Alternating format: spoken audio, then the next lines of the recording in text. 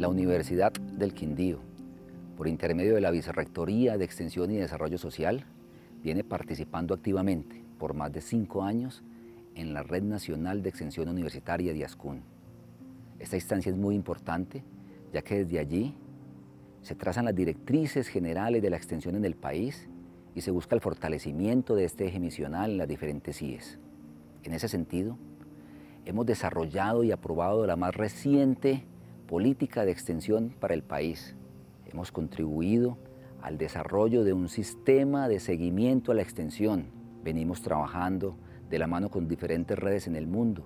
Una de ellas, la Unión Latinoamericana de Extensión Universitaria, quien nos ha invitado desde el año 2019 a elaborar el cuarto volumen de la serie Los Caminos de la Extensión, esta específicamente para Colombia.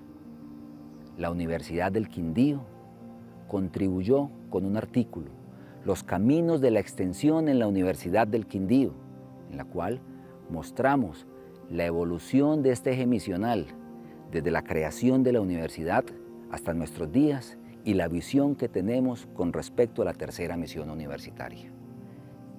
El 11 de febrero haremos el lanzamiento oficial de este libro y los invito para que ustedes, a partir del 12 de febrero, ingresen a la página oficial de Ascun, en el micrositio extensión, descarguen el libro, lo lean y de esta manera se puedan enterar con mayor detalle y mayor profundidad de la evolución de la extensión y la tercera misión en Colombia y lo que se tiene proyectado a futuro.